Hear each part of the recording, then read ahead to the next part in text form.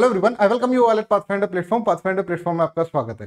देखिए, एक बहुत इंपॉर्टेंट अभी अनाउंसमेंट करा है प्रधानमंत्री मोदी जी ने। हालाँकि अनाउंसमेंट पहले कर चुका है आईएमएफ पर यहाँ पर प्रधानमंत्री मोदी जी ने कहा है कि मोदी की गारंटी है कि जब मेरा थर्ड टर्म आएगा मतलब 2024 के इलेक्शन के अंदर जब प्रधानमंत्री मोदी जीतकर गवर्नमेंट बनाएँगे तो भारत की इकोनॉमी जो होगी, वो थर्ड नंबर पर होगी कि वर्ल्ड की वर्ल्ड के तीन देशों के अंदर वर्ल्ड के टॉप तीन देशों के अंदर भारत का नाम यहाँ पर होगा इकोनॉमिक डायमेंशन में, अगर हम बात करें तो। अब यहाँ पे कांग्रेस ने कहा है कि ये तो देखो पहले पहले से ही तय इसमें गारंटी की क्या बात है? चाहे कोई भी सरकार हो, ऐसा तो होना ही है। ये तो बिल्कुल, अगर भारत बहुत ही नॉमिनल ग्रोथ भी करेगा तो भी इसके अंदर होगा राइट तो अब देखते हैं कि यहाँ पर पूरा मामला क्या है, ये हम इसके अंदर समझेंगे। क्या कहा है प्रधानमंत्री में? Our third term will be see India in the top three economy my guarantee ये मोदी की गारंटी है, ऐसा कहकर प्रधानमंत्री मोदी जी ने यहाँ पर बोला है, ठीक है? और अपोजिशन क्या बोल रहा है? अपोजिशन बोल रहा है कि देखिए it is already guaranteed guaranteed है कि भारत को थर्ड लार्जेस्ट इकोनॉमी बनना ही है। 2027 तक भारत थर्ड लार्जेस्ट इकोनॉमी बनी जाएगा। ये तो पहले से ही गारंटेड है। देखते हैं क्या है पूरा मामला। यहाँ पर जो एग्जैक्ट वर्ड है प्रधानमंत्री मोदी की, वो मैं आपको बता रहा हूँ कि भारत की विकास यात्रा। देखिए एक इवेंट के अंदर ये बोल रहे हैं, रुकने वाली नहीं है। आप जानते हैं, हमारे पहले टर्म की शुरुआत में भारत वर्ल्ड इकोनॉमी में दसवें नंबर पर था। अगर आप ये देखें this is very very correct कि 2014 के अंदर अगर आप देखेंगे तो भारत का जो नंबर था, वो टेंथ था। मतलब टेंथ नंबर पे आ रहा था भारत। और आप यहाँ पर देखें कि आज की डेट में 2022 में ही हो गया था ये तो भारत पांचवी लार्जेस्ट सबसे लार्जेस्ट इकोनॉमी बन गया है वर्ल्ड की राइट और ये ट्रैक रिकॉर्ड के आधार पर मैं देश को ये भी विश्वास दिलाना चाहूँगा कि तीसरे टर्म में दुनिया की पहली तीन इकोनॉमीज में एक नाम भारत का भी होगा। इस तरह से प्रधानमंत्री ने मोदी जी ने इसके अंदर कहा है कि टॉप तीन इकोनॉमी में एक नाम भारत का यहाँ पर होगा। चलिए तो यहाँ पर हम देखते हैं कि 2022 के अंदर भारत ने क्या करा था? यूनाइटेड किंगडम को, ठीक है?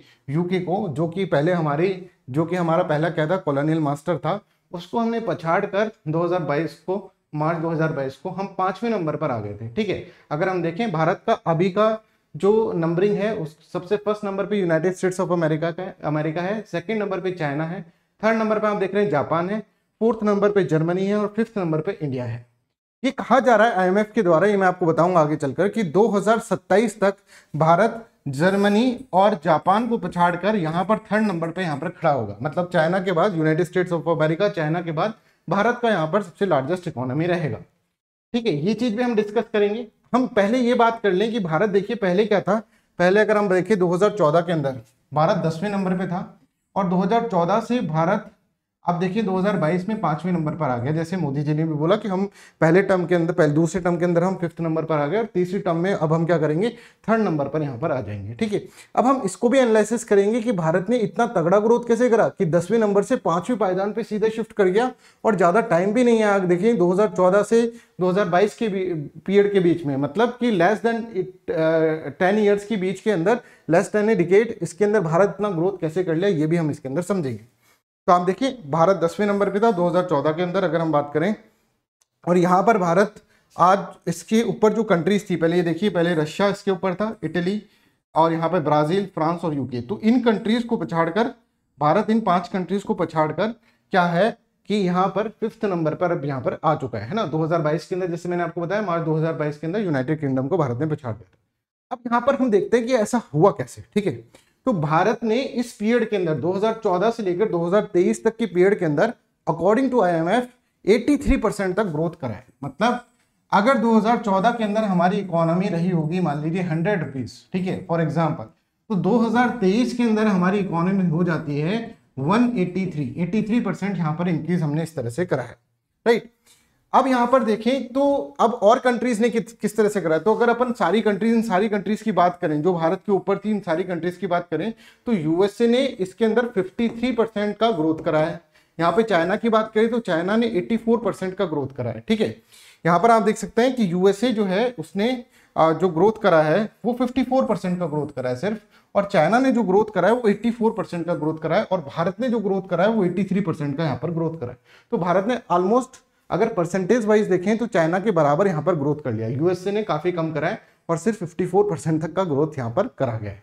और हम और कंट्रीज़ की बात करें, अब भारत के जो कंपिटिटर थे, है ना, भारत दसवें नंबर पे था 2014 के अंदर और भारत के ऊपर ये कंट्रीज़ थी UK France Russia Italy and Brazil तो देखते हैं इन कंट्रीज़ ने कैसा ग्रोथ करा। तो भारत ने तो जैसे मैंने आपको बताया 83 परसेंट तक ग्रोथ करा 2014 से लेकर 2000 अगर हम देखें 2022 के पीरियड तक, ठीक है? यूके ने कितना ग्रोथ करा? यूके ने सिर्फ़ थ्री परसेंट ग्रोथ करा। अब आप ये देखिए रिलेटिवली यूके ने कितना कम परसेंटेज ग्रोथ करा है। फ्रांस ने सिर्फ़ टू परसेंट ग्रोथ करा फिर यहाँ पर आप देख रहे हैं रशिया ने सिर्फ़ वन परसेंट ग्रोथ करा है। इटली ने, अगर हम देखेंगे, इसने तो ग्रो ही नहीं करा है। ठीक है ज़ीरो परसेंट हम यहाँ पर देख सकते हैं। और ब्राज़ील ने तो नेगेटिवली ग्रो करा है माइनस फिफ्टीन परसेंट तो भारत की ग्रोथ से ज़्यादा आप यहाँ पर देख रहे हैं, भारत ने 83 परसेंट ग्रोथ करा that is also very good growth ठीक है बट आप देख रहे हैं कि इन कंट्रीज़ की ग्रोथ रेट रिलेटिवली देखें तो बहुत ही कम रही है। और इसी कारण से भारत ने सिर्फ़ आठ साल के अंदर दसवें से पाँचवें पायदान पे भारत पहुँच चुका है। ठीक है? अब यहाँ पर इसके आगे हम समझते हैं कि अब इसको, इसमें अपोजिशन को क्या दिक्कत होगी जब प्रधानमंत्री मोदी जी ने ऐसे बोला कि हम मेरी जो थर्ड टर्म आएगी मतलब 2024 का इलेक्शन जीतकर जब मैं थर्ड टर्म में आऊँगा तो वहाँ पर इकोनॉमिक ग्रोथ जो होगी हमारी हमारी जो भारत होगा, वो टॉप थ्री रैंकिंग के अंदर किसी एक कंट्री पे टॉप थ्री में किसी एक नंबर पर भारत रहेगा। तो इसमें अपोजिशन को क्या दिक्कत होगी, ये मैं आपको इसके अंदर बता रहा हूँ। But before start I want to let you know path Pathfinder आपके लिए उड़ान बैच लेकर आया उड़ान बैच के अंदर ये सारे फीचर्स आपको प्रोवाइड किए जाएँगे, सिर्फ़ seven thousand nine hundred ninety nine rupees के अंदर। लाइव क्लासेस आपको 900 प्लस आवर्स की दी जा रही है। मेंस प्रीलिम्स का टेस्ट सीरीज़ दिया जा रहा है। यहाँ पे कॉम्प्रेंसिव कवरेज ऑफ़ सिलेबस रहेगा। Free means mentorship program toppers की क्लासेस और मेंटरशिप यहाँ पर दी जाएगी और वेल प्लान शेड्यूल के अंदर आपकी प्रिपरेशन कराई जाएगी। ये सब सिर्फ़ seven thousand nine hundred ninety nine rupees के अंदर आपको कराया जाएगा। बैच स्टार्ट हो रहा है। फ़र्स्ट अगस्त से ज़्यादा टाइम नहीं बचा है। जल्दी से एनरोल कर लीजिए और ये भी है जुलाई थर्टी वन को फ़ीस हाइक होने वाली है।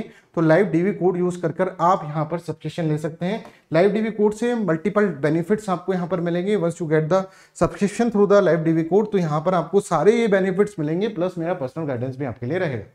चलिए, इसी तरह से मैं आपको बता रहा हूँ जुलाई थर्टी फाइव से again thirty five percent fees hike हो रही है। उससे पहले पहले आपको सब्सक्रिप्शन लेना है। Udaan GS plus optional combo subscription भी है। जहाँ पर ये सारे टीचर्स जो हैं, वो ऑप्शनल सब्जेक्ट पढ़ा रहे हैं। आप यहाँ पर देख सकते हैं, ये सारे टीचर्स जो हैं, काफ़ी एक्सपीरियंस टीचर हैं जो आपको ऑप्शनल सब्जेक्ट पढ़ाएँगे। अगर आप जीएस प्लस ऑप्शनल का कॉम्बो सब्सक्रिप्शन लेते हैं मतलब उड़ान प्लस ऑप्शनल का तो fourteen thousand nine hundred ninety nine rupees के अंदर आपको पूरा सब्सक्रिप्शन मिल जाएगा। इसी तरह से आप ऑप्शन कार्निवाल भी चल रहा है, अलग से ऑप्शन भी ले सकते हैं seven thousand nine hundred ninety nine rupees के अंदर ऑप्शन आपको मिलेगा। एनसीआरटी के कोई फ़ैन है कि भाई एनसीआरटी हमको पूरा फाउंडेशन बैच करना है तो सिक्स से लेकर ट्वेल्थ तक की एनसीआरटी यहाँ पर पढ़ाई जा रही है। मैं यहाँ पर इकोनॉमिक्स की एनसीआरटीज पढ़ाऊँगा और उसके साथ अगर आपका कॉम्बो सब्सक्रिप्शन लेना है तो कॉम्बो सब्सक्रिप्शन सिर्फ़ eleven thousand nine hundred ninety nine rupees का है, जबकि फाउंडेशन बैच सिर्फ़ four thousand nine hundred ninety nine rupees का है। इतने ही कम प्राइसेस के अंदर यहाँ पर बैचेज हैं पाथफाइंडर के ऊपर सारे बैचेज आपको मिल रहे हैं। ये हमारी टीम रहेगी जो उड़ान के अंदर आपको टीचिंग प्रोवाइड करेगी। चलिए तो अब आईएमएफ ने कुछ प्रिडिक्शंस करी थी। आईएमएफ ने पहले ही बोल दिया था ये, जो प्रधानमंत्री मोदी जी अभी गारंटी दे रहे हैं। आईएमएफ पहले ही बोल चुका है कि भाई अगर इंडिया की ग्रोथ जो है, अगर नॉमिनल भी रहती है ना तो इंडिया थर्ड नंबर पे आना ही आना है। देखिए आईएमएफ पहले ही प्रिडिक्ट कर चुका है कि 2027 तक भारत जो होगा, वो थर्ड नंबर पर आ जाएगा और भारत का जो जीडीपी रहेगा 5153 US bill US billion dollar यहाँ पर यहाँ पर भारत का इसके अंदर रहेगा और भारत, जापान और जर्मनी को हटाकर तीसरे नंबर पर आ जाएगा। ये पहले ही आईएमएफ ये प्रिडिक्शन कर चुका है। ठीक है, देखिए क्या कहता है आईएमएफ आईएमएफ कहता है कि अगर मान लीजिए भारत की ग्रोथ रेट ज़्यादा नहीं नाइन परसेंट टेन परसेंट ऐसा नहीं, सिर्फ़ सिक्स परसेंट पर एनएम की भी ग्रोथ रेट रहेगी मतलब एक बहुत मॉडरेट ग्रोथ रेट भी रहेगी तो भी भारत 2027 तक जर्मनी और जापान को ओवरटेक कर जाएगा। तो यहाँ पर अपोजिशन कह रहे हैं कि भैया इसमें तुम्हारे आने से कुछ नहीं होगा, कोई भी आए, इतना ग्रोथ तो भारत कर ही लेगा, और इससे क्या होगा, इससे भारत का जो होगा, वो इकोनॉमी जो होगा, वो थर्ड नंबर पे तो वैसे ही आ जाएगा। ये तो पहले से ही तय है right it is already guaranteed आप क्या गारंटी इसके अंदर दे रहे तो यहाँ पर देखिए आईएमएफ ऐसे बोलता है कि भारत जो होगा India in 2007 will be around 38 percent more than what is 2023 जो 2023 के अंदर इंडिया का जो भी है, ठीक है 2023 के अंदर मान लीजिए इंडिया 100 जीडीपी रहता है तो 2027 के अंदर भारत का जीडीपी जो होगा 138 तक रहेगा। और यहाँ पर जर्मनी और जापान को जो जीडीपी रहेगा, ठीक है, वो जो जीडीपी परसेंटेज ग्रोथ रहेगा, वो सिर्फ़ 15 परसेंट रहेगा 2023 के लेवल पर। तो 2023 के लेवल पर तेईस की लेवल से देखिए तो 2027 तक भारत तो 38 परसेंट तक ग्रोथ कर जाएगा, वहीं जापान और जर्मनी सिर्फ़ 15 परसेंट तक ही ग्रोथ कर पाएँगे, ठीक है परसेंटेज ग्रोथ ठीक है। तो यहाँ पर ये देखा जा रहा है कि भारत का ये ग्रोथ जो होगा that will also effect this one कि ये जापान और जर्मनी को ओवरकम जापान और जर्मनी को क्या कर जाएगा क्रॉस कर जाएगा और थर्ड नंबर पे यहाँ पे भारत आ जाएगा 2027 के अंदर। This is relatively faster growth will help India this relatively faster growth की ये तो भाई पंद्रह परसेंट से कर रहे हैं, भारत अड़तीस परसेंट से करेगा।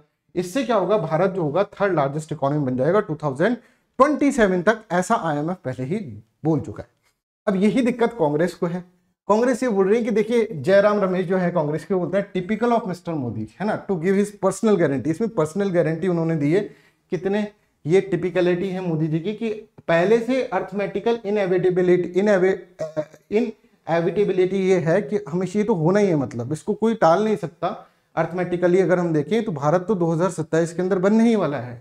India emergence the world third largest economy in this decade has been predicted for quite some time now and it's guarantee which ever dispensation form of the next government कोई भी next government बनेगी तो कोई भी बने, ये तो पहले से ही तय है कि जो होगा, कि भारत जो होगा 2000 ट्वेंटी ट्वेंटी सेवन तक थर्ड लार्जेस्ट इकोनॉमी यहाँ पे बन जाएगा।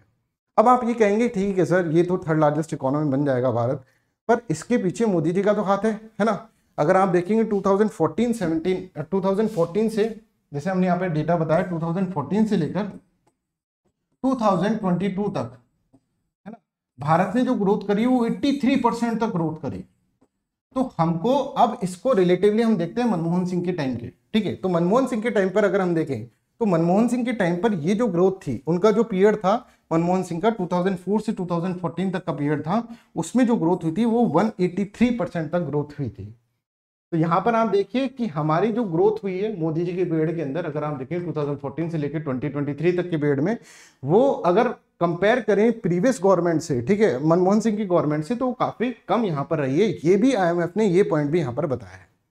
बट आपको ये भी देखना होगा कि मोदी गवर्नमेंट के पीरियड में बहुत सारी चीज़ें ऐसी आई हैं जो कि क्या है, जो कि वर्ल्ड पूरे वर्ल्ड के अंदर बहुत ज़्यादा शॉक्स लगे हैं, ठीक है, और पूरे वर्ल्ड की ही इकोनॉमी डिक्रीज हुई है। अगर हम देखें तो स्टार्टिंग के अंदर, जैसे इंडियन इकोनॉमी के अंदर डोमेस्टिकली देखे तो हमने चेंज करे थे रिफॉर्म्स करे थे इकोनॉमिक रिफॉर्म जीएसटी लेकर आए थे डिमोनेटाइजेशन हुआ था। उसके कारण इकोनॉमी को थोड़े ब्रेक लगे। फिर उसके बाद उभरती इकोनॉमी इतने में कोविड नाइन्टीन आ गया तो पूरे वर्ल्ड की इकोनॉमी ही डाउन चलेगी तो उसके अंदर। उसके बाद हम देखेंगे रशिया यूक्रेन का वार हो गया। तो इन सब हेडविंड्स के बावजूद भी हमने काफ़ी अच्छी ग्रोथ करी है, ऐसा अपन इसके अंदर कह सकते हैं। तो इसके अंदर मैंने आपको पूरा फैक्चुअल एनालिसिस यहाँ पर दिया है। प्लीज़ लेट मी नो आपको ये वीडियो कैसा लगा? Please share this video widely that's all for today's class thank you so much bye bye take care and have a nice day